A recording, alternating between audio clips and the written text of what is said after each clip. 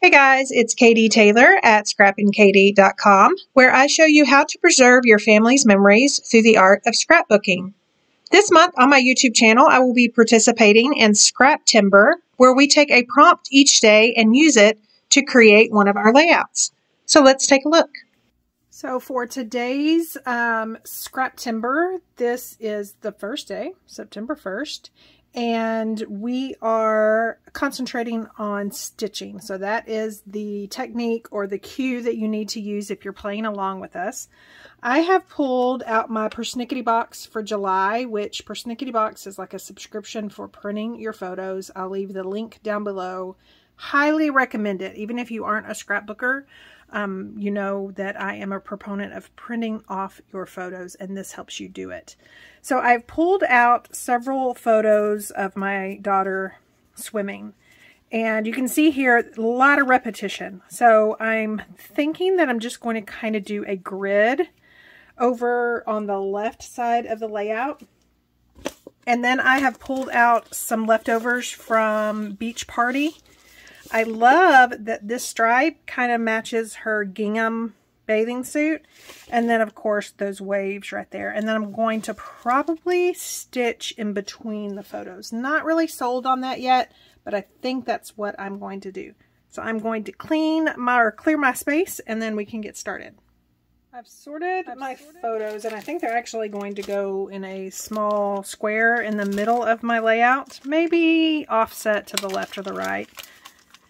And I'm going to use flip flaps. And so I need to kind of fill up this square right here. So I've pulled out the Beach Party um, PML cards, trying to find ones that kind of go with the scheme of the things as well as the layout itself and what I want to portray. That might be a little larger than 4x4, but I may be able to get it.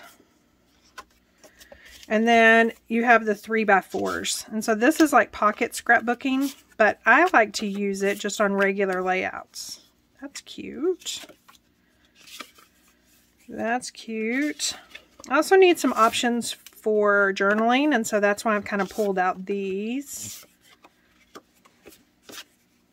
And then I love that they're landscape on one side and portrait on the other.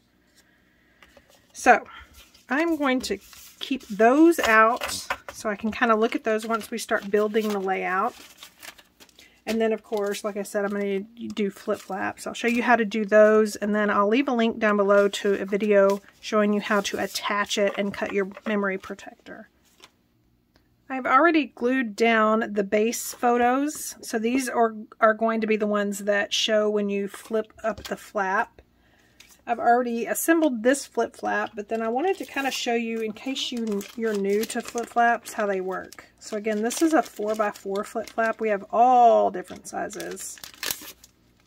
And you want the uh, tape part, the backing, to be facing up. And that way when you fold it over, it sticks to your layout.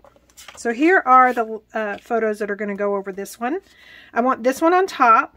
So then when you flip it like this, I want this one to show. So again, like this, and then you flip it open. So I'm going to, again, the backing is on the top facing me, the pockets in the back.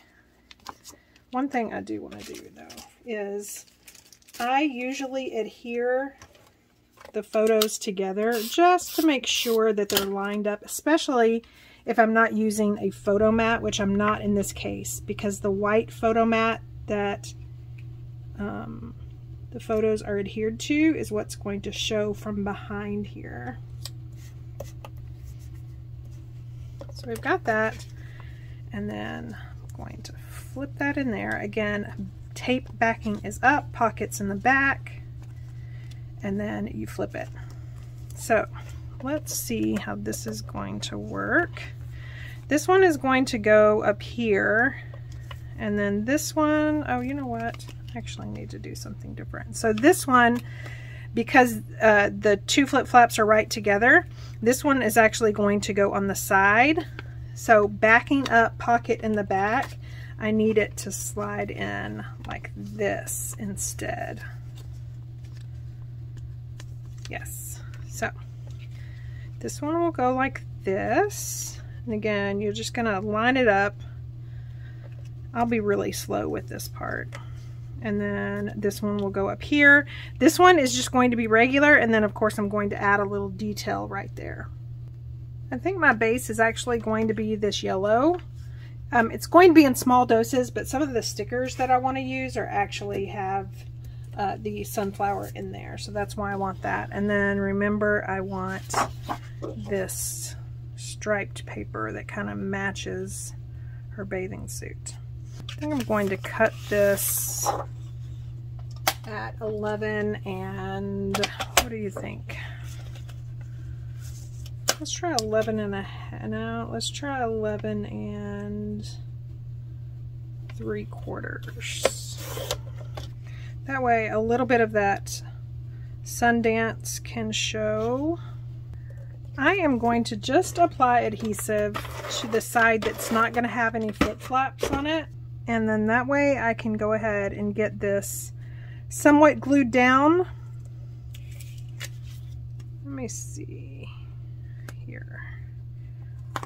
Using my glass board to center it so I've got two inches, inch and a quarter. So I think I'm going to do it right there. It's going to be close enough to being centered. And so of course right here this has no adhesive and here is where I'm going to lay these down. So you're just going to peel back that backing and then kind of close it. And what I want to happen is I want you to not be able to see these photos behind. So I'm going to lift up that left side, line these photos up, and then kind of close that backing in the back hoping that it keeps straight all the way down. And then there we go. I usually like to take my bone folder just to make sure that it is good and secure. And how I can tell is see how you can see those little dots? Hopefully you can see those little dots I just rub it with my bone folder until I can't see the dots. And then that way I know that it is really secure in that layout. Okay, so let's do the next photo. Again, I'm going to take the backing off. And remember, this one is going to come from that left side to kind of aid in these two not competing against each other. I am going to flip my layout just because it's easier for me to work from the top. Same concept.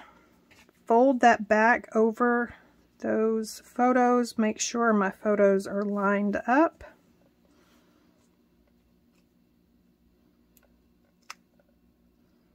And then glue it down and then lift this up and do my bone folder until I can't see any more of those dots.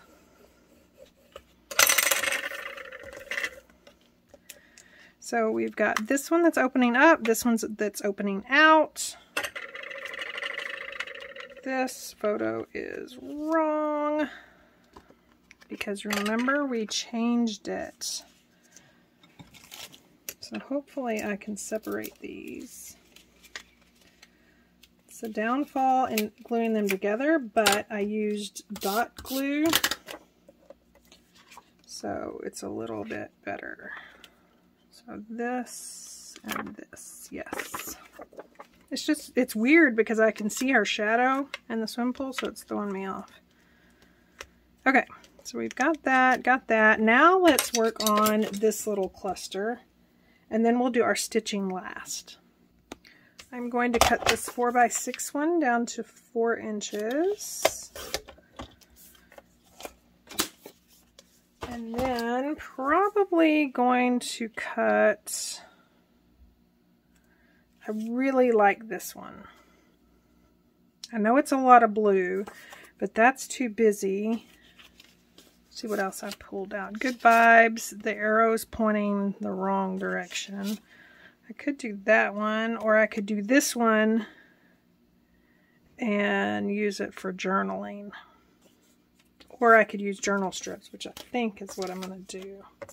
So I wonder if, let's try something before I fussy cut it. Let's see if I could cut this. This is three inches, so let's see if I could cut it to three by three.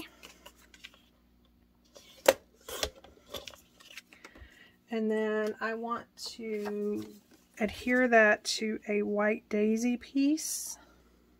I did want to show you that the back side of this one is a blonde girl. So I love that Close to My Heart gives you options. Of course, I'm going to be using the brunette. She signifies my daughter more. And I think I'm going to do it like that. So I'm going to get this glued down. I have added 3D foam tape to the back of this. And I am going to just try and eyeball center it. And then I got to thinking, this almost has, these are uh, towels, but you see right there, that's almost like stitching. So if I can't fit the stitching in, I think I'll have that serve as my stitching. So we've got that, and then let's pull out these sticker sheets and see what stickers. So I love the Like a Fish. Sorry, I had a board meeting. Not really a fond of that. Welcome to Summertime Paradise. That actually might be a good one. I mean, you think about these signs on beaches and stuff, but nobody says it has to be. I love this little floaty right here. I love the van, but the van just doesn't go. And then I have another sticker sheet. I'm liking the Endless Summer. Um, sun cream. Again, pulling out some of those yellows. I'm liking the sun. Catching rays, making a splash. There's just so many cute stickers. I am going to speed up the rest of this layout because it's just embellishing. I will be adding 3D foam tape to the majority of these stickers. That little sun is going to go there and then I'm going to add liquid adhesive to this little sunscreen bottle and get it adhered down. And then I thought, you know what? I remember that my friend Jama used one of our new card stencils to make waves. So I've pulled out this card stencil. It's actually four cards, like I said. It's not meant to be waves at all, but they do. They look like splashes. I am just going to tape off the sunscreen bottle. I already have my photo taped off, and then I am taping my layout to my glass board.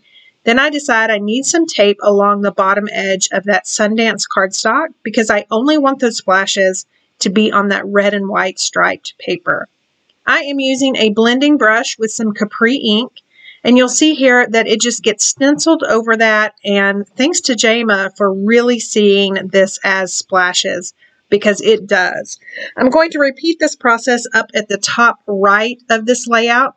So I'm going to move all of these pieces down and then again get the Sundance cardstock taped off as well as my photo. Now this stencil tape that I'm using, I'll leave a link down below, but I love it and it's not harmful to your photos at all. It comes right off your photos, um, but it has enough tack to it that once you glue it down, you can see it's glued down to a glass board and those pieces are not moving. Here is where I will go ahead and start um, getting all these little sticker embellishments. Again, the majority of these stickers are adhered down with 3D foam tape. I did take the stickiness off using my anti-static pouch. The ones that I did decide to leave the sticky on, I just need to re-add sticky by either liquid adhesive or tape adhesive. That little ticket to summer actually is adhered with 3D foam tape onto that flip flap. And then here is where my stitching is going to come in. I am using the background element stamp. You can see it's got a lot of dots and backgrounds and water splashes, but I'm going to be using the row of X's and I think I'm actually going to use candy apple. Now I'm going to ink this up and it's just perfect size for that little part of that striped paper that shows behind that photo grouping. So I've got that and that is going to serve as my stitching. Now I do love machine stitching, don't get me wrong, but I wanted to show you other options in case you don't have a machine to stitch or if you like the simple look of stamping. These are the little rubber shapes that come with Beach Party, and so I've just added a couple of stars. I really like that beach ball, but there's just a little bit too many circles on there. And then, what do you know? I actually pulled out the dots for Crisp Air, which is a very fall collection, but it's got some of the same colors. So I'm going to add a sapphire heart up by that ticket and then I am going to use my journaling strip stickers that I talked about earlier.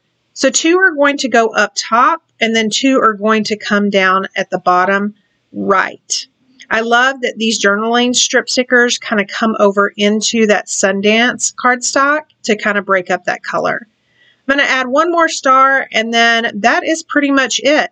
Here is a look at the finished layout again with those flip flaps. Don't forget that I have linked all the products that I've used down below, as well as that video on how to cut your memory protector to make those flip flaps interactive in your album.